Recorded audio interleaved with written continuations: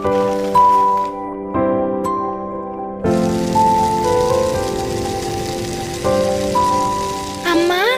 నువ్వు నా బూట్ల లేసులు కడతావా? సమా సమా. ఆ అమ్మా నేను తయారైపోయాను. పదవి బస్సు వచ్చేసింది.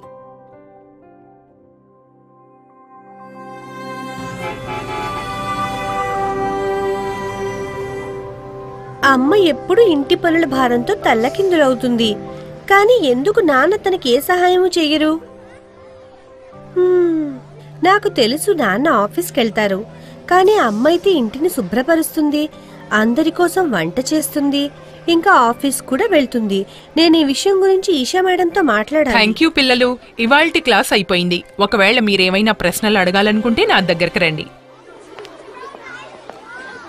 మ్యామ్ మా అమ్మ నాకు తమ్ముడికి సహాయం చేస్తుంది. స్కూల్ కోసం తయారు చేస్తుంది. అమ్మ అందరి కోసం వంట కూడా చేస్తుంది. ఇంకా ఆఫీసుకు కూడా వెళ్తుంది. నేను ప్రతి సాయంత్రం అలసిన అమ్మని చూస్తే హాయిగా అనిపించదు. ఎందుకని పనంతా ఒంటరిగా అమ్మే చేస్తుంది? నాన్నెందుకు సాయం చెయ్యరు? ఏ కేవలం మహిళలే ఇంటి పనులన్నీ చెయ్యగలరా? సమా నాకు చాలా సంతోషంగా ఉంది. నువ్వు దీన్ని గమనించి నాతో చర్చిస్తున్నావు. ఇంట్లో మహిళలే అన్ని పనులు చేయడమనేది సరైన పని కాదు. ఒక వ్యక్తి యొక్క లింగం మరియు జెండర్కి దాని పాత్ర మరియు బాధ్యతలకు ఏమాత్రం సంబంధం లేదు.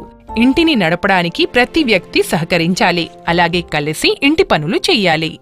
Okay ma'am. కానీ లింగం అంటే ఏమిటి మ్యామ్?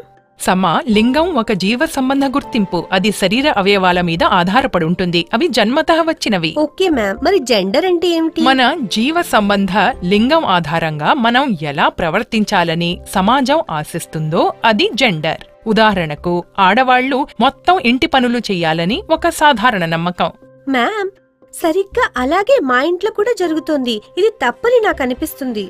సరిగ్గా చెప్పావు సమా. ఇది ఏమాత్రం సరైంది కాదు. స్టీరియో టైప్గా పిలవబడే ఇలాంటి వాటి గురించి ప్రశ్నించడం మనకు ముఖ్యం కూడా. నీకు తెలిసే ఉంటుంది ప్రపంచంలో ఎక్కువ మంది షెఫ్లు పురుషులని. అలాగే వారు కేవలం మహిళలే వంట చేయగలరన్న ఈ స్టీరియో టైప్ని ఛేదించారు. ఇదే విధంగా బాక్సర్ అయిన మ్యారీకామ్ మహిళలు కూడా పోరాడగలరని నిరూపించింది. అలాగే వారు కూడా అంతే దృఢంగా ఉంటారు. ఇవి కొన్ని ఉదాహరణలు. ఇవి నువ్వు గుర్తుంచుకోవలసినవి. అలాగే ఫ్రెండ్స్ కుటుంబ సభ్యులతో షేర్ చేయొచ్చు. Thank you ma'am. నేను మా అమ్మా నాన్నతో తప్పకుండా చర్చిస్తాను. ఎప్పుడైనా నా చుట్టుపక్కల ఇలాంటివి జరుగుతూ ఉంటే వాటిని వెంటనే ప్రశ్నిస్తాను.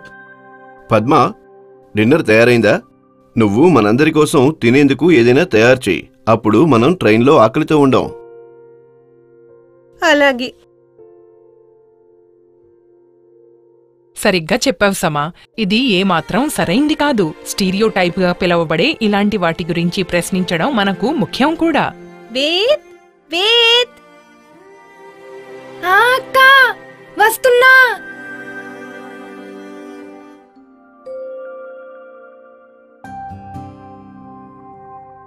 నాన్న నేను మిమ్మల్ని ఒకటి అడగచ్చా? తప్పకుండా సమా. చెప్పు ఏమిటి సంగతి? మీరు అమ్మకి ఇంటి పనుల్లో సాయం ఎందుకు చెయ్యరు? నేను రోజంతా ఆఫీసులో పనిచేస్తాను. ఇంటికి వచ్చేసరికి అలసిపోతాను. అప్పుడు నేను టీవీ చూడడం విశ్రాంతి తీసుకోవడం ఇష్టపడతాను. కానీ అమ్మ కూడా ఆఫీస్కి వెళ్తుంది కదా. అయినా అమ్మ ఇంటికి తిరిగొచ్చాక వంట చేస్తుంది ఇంటిని శుభ్రం చేస్తుంది అలాగే ఇతర ఇంటి పనులన్నీ చేస్తుంది. సమా నీకు ఈ విషయాలన్నీ ఎవరు చెప్పారు? ప్రతి ఇంట్లో తల్లి వంట చేస్తుంది ఇంకా ఇంటి పని చేస్తుంది. ఇది మన సమాజంలో సహజం అయినా ఇందులో తప్పేమీ లేదు. లేదు నాన్న ఇది తప్పు. మా టీచర్ కూడా ఇలాంటి విశ్వాసాల గురించి చెప్పారు. ఇది కొన్ని పరిస్థితుల్లో ఒక జెండర్ను మరొక జెండర్ కంటే శక్తిశాలిని చేస్తుంది. మనందరి కోసం వంట చేయడం అమ్మ బాధ్యత కాదు. మేడం చెప్పారు మనమంతా కలిసి పని ఇంకా ఒకరి కోసం ఒకరు సహాయం చేసుకోవాలని. అవును సమా నాకు అర్థమైంది. మీ టీచర్ చెప్పింది నిజమే. నాకు నా తప్పేమిటో అర్థమైంది. నేను అమ్మకి వంట చేయడంలో సాయం చేస్తాను. రేపు మనం సిమ్లా వెళ్ళడానికి బ్యాగ్ కూడా ప్యాక్ చేస్తాను. ధన్యవాదాలు నాన్న. థ్యాంక్ యూ తల్లి. నా పొరపాటును వేలెత్తి చూపించినందుకు.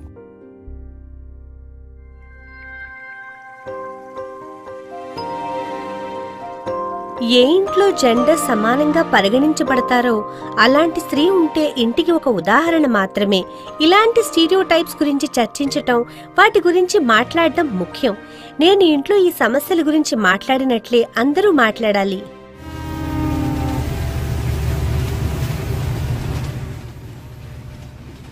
వేద్ ఏమైంది? నువ్వు చాలా భయపడుతున్నట్లున్నావు.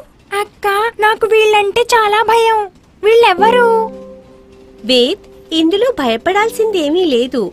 ట్రాన్స్జెండర్లు మనలాంటి వాళ్ళే. తమ జీవ సంబంధ లింగం ఆధారంగా వారి జెండర్ గుర్తించబడదు.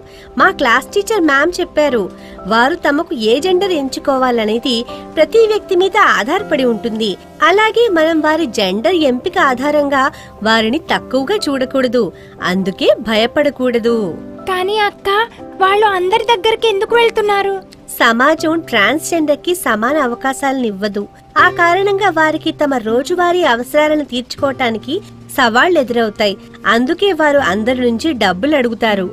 అమ్మా నాన్న మేము వారికి హెల్ప్ వెంటనే ఇదంతా ఆపేయండి. ప్రతి వ్యక్తికి తమకు నచ్చిన విధంగా జీవించే స్వాతంత్ర్యం ఉంది. మీరందరూ వీరిని క్షమాపణ కోరాలి. ఇంకెప్పుడు ఇలా ప్రవర్తించకండి. మేము మా తప్పుని తెలుసుకున్నాం సిగ్గుపడుతున్నాం. ధన్యవాదాలు సార్. మా జెండర్ లేదా జీవనం సాగించే పద్ధతిని ఎంచుకోవడం మా బలహీనత కాదని ప్రజలు అర్థం చేసుకోవాలి. అలాగే దీని ఆధారంగా మా పట్ల భేదభావం చూపించకూడదు. వాళ్ళు చెబుతున్నది నిజమే. మనం మనుషులందరినీ గౌరవించడం నేర్చుకోవాలి. అలాగే మనుషులు ఎలా ఉన్నా వారిని అంగీకరించాలి.